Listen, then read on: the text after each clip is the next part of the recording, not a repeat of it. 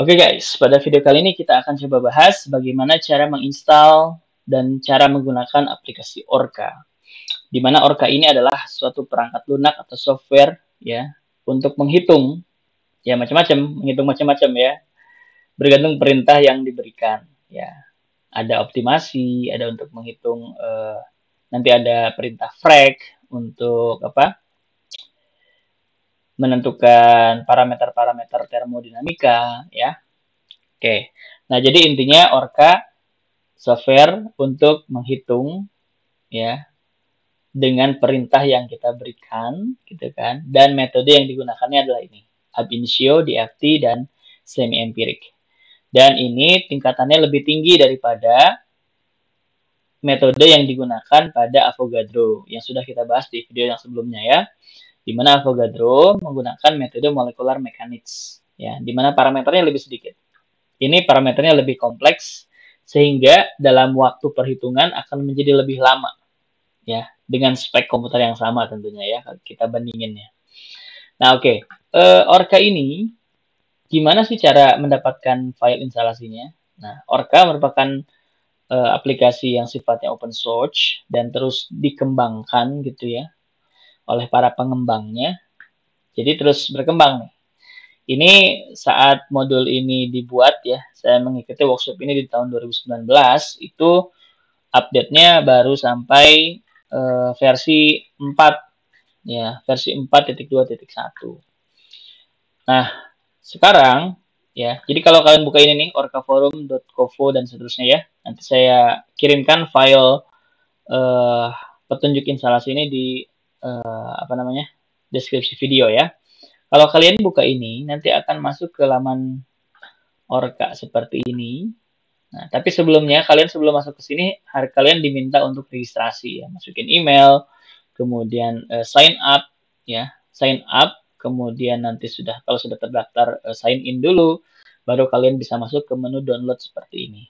Dan kita lihat ini perkembangan terakhirnya di Orca 5.0.4 eh, ya. Ini perkembangan terbarunya di tahun 2023. Nah, tahun 2024 belum ada nih ya. Oke, jadi ini yang terbarunya dan uh, beda OS, beda file instalasinya ya. Lihat ini untuk yang Linux, Mac OS. Kalau saya pakai Windows berarti pakainya yang uh, di bawah sini. Dan ini kita lihat ada tiga part. Dan masing-masing part lihat gede banget size-nya ya. Ini yang pertamanya 3 giga yang selanjutnya 2 gigaan. Kalau di total berarti sekitar 7 giga total semuanya. Gede banget ya. Karena ya banyak eh, parameter-parameter uh, uh, yang ditambahkan ya. Artinya dia lebih lebih banyak.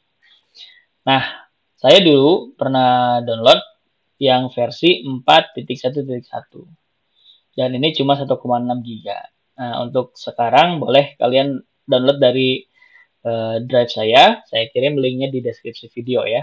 Dan kalau kalian downloadnya lewat sini, insya Allah lebih cepat daripada lewat sini.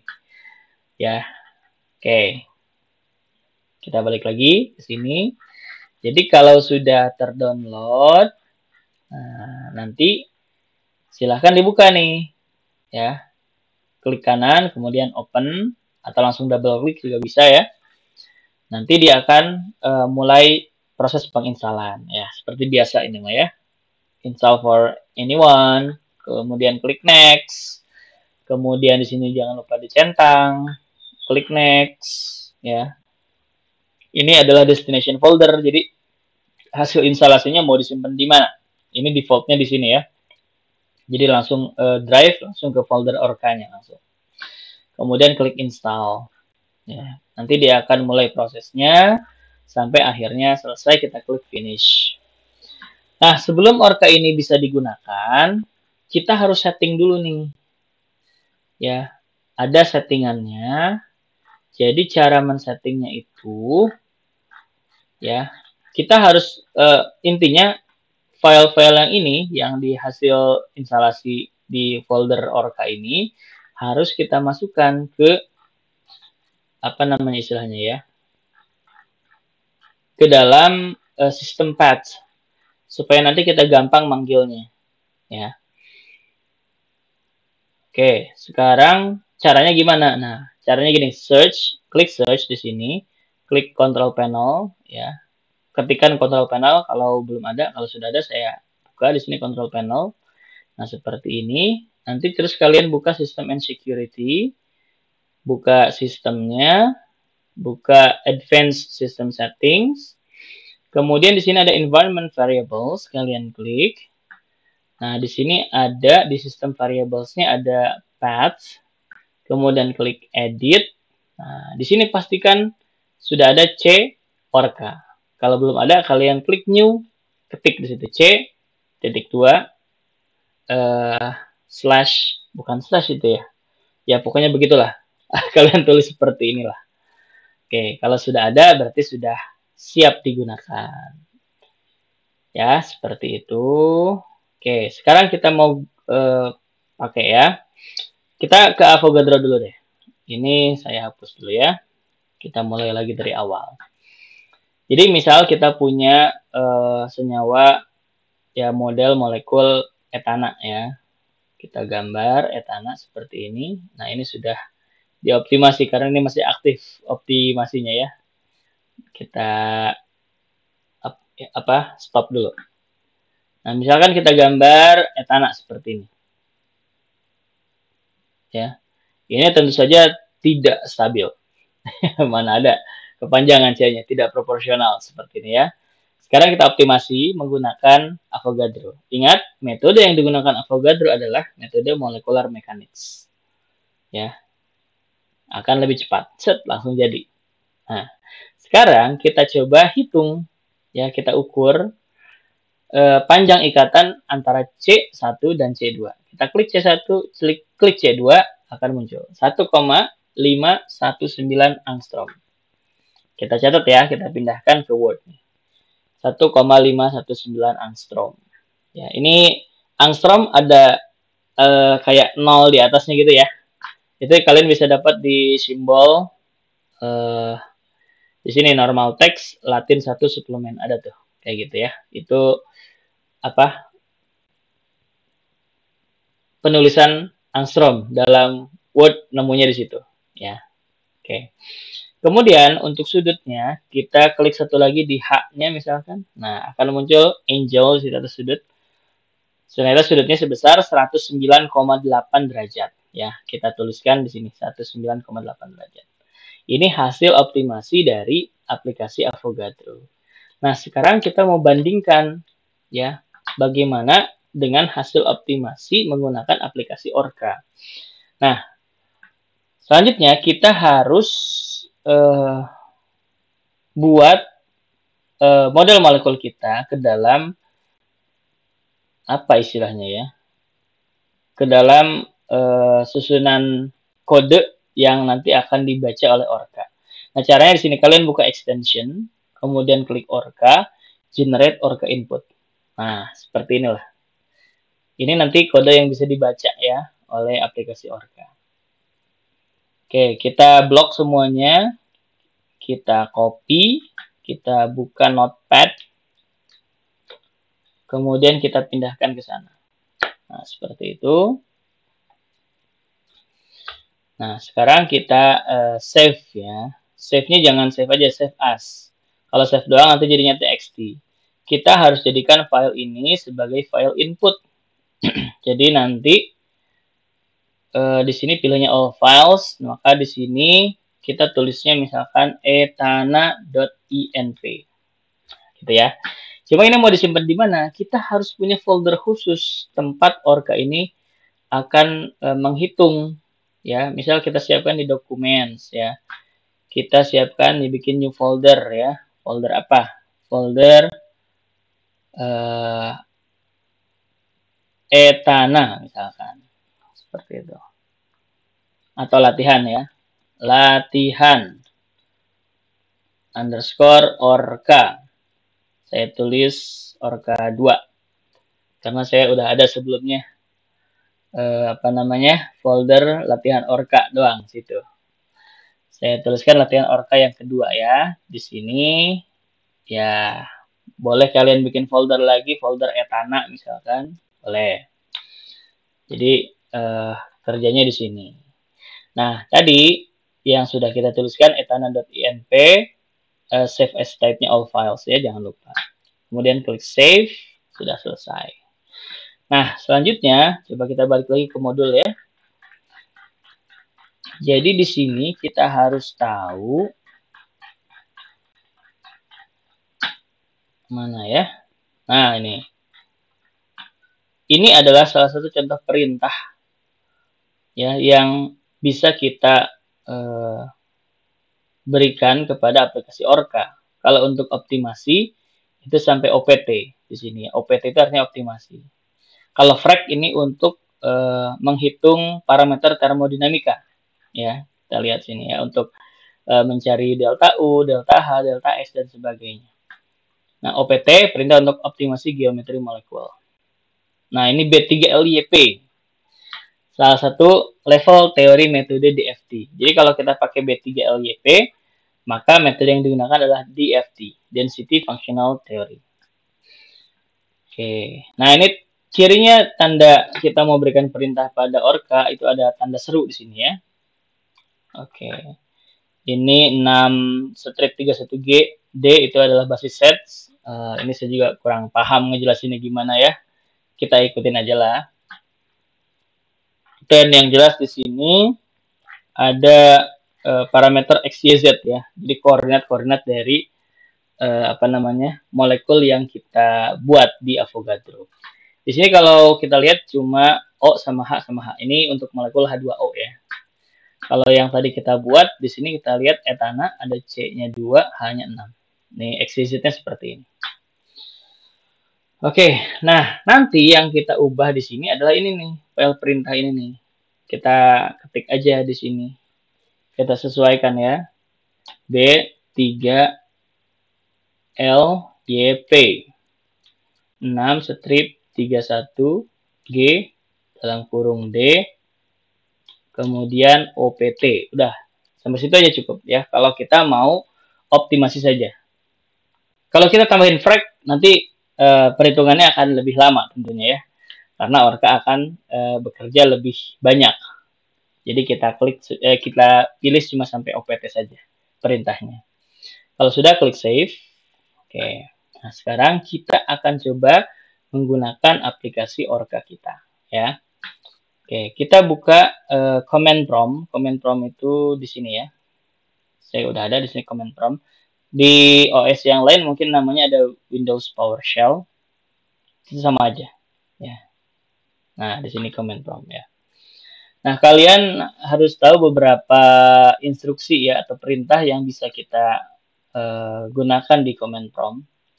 Kayak misalkan untuk melihat folder folder-folder apa aja sih yang ada di ini di user fatur gitu kan. Itu bisa kalian bisa tuliskan dir. Dir itu directory. Jadi di sini bisa melihat oh di uh, folder fatur ini ada folder apa saja gitu kita mau masuk ke dokumen karena kita nyimpannya di dokumen ya. Kalau masuk ke dokumen, kita ketik chdir. Kemudian ketik documents.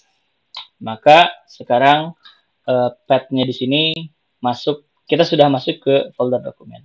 Kita cek lagi di folder dokumen ada apa saja, ada folder apa saja. Ketik lagi dir. Nah, seperti ini. Ada banyak folder ya.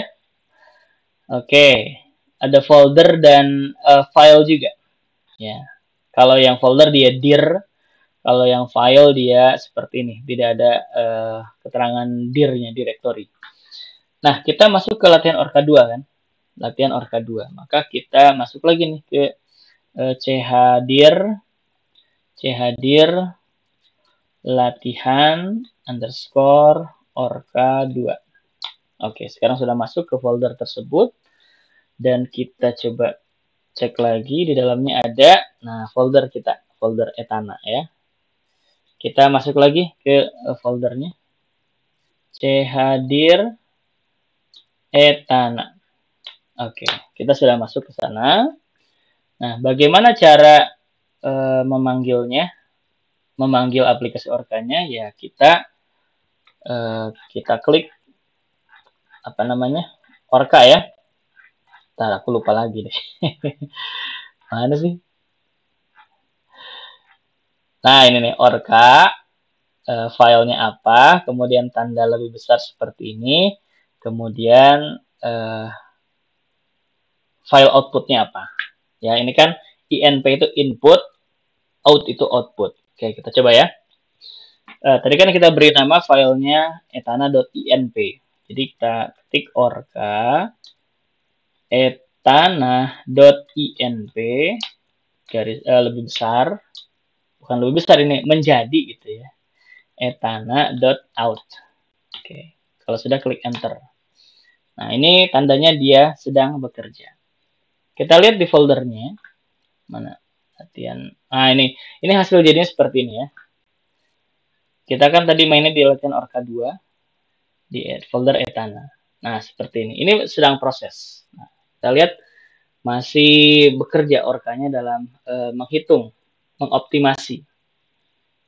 Ya, kita lihat.